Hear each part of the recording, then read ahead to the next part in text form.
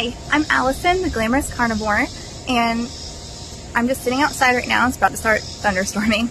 So don't let the get up like freak you out. I don't usually just sit outside in my pajamas with like full makeup and hair. So I have two Instagram accounts and the other one's like completely beauty related. So I'm out here and I'm grilling some burgers for dinner. So sitting out here eating some raw liver. so I figured I just come out here and have, you know, some of my Redmonds on my beef liver. Get my multivitamins in today, shall we?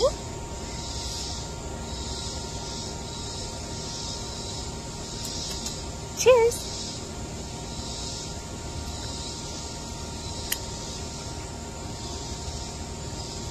Yeah, I mean, honestly, I don't know what people are talking about, saying it tastes gross and stuff.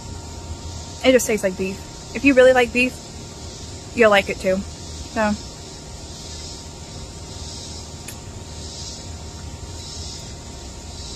till next time. Bye guys.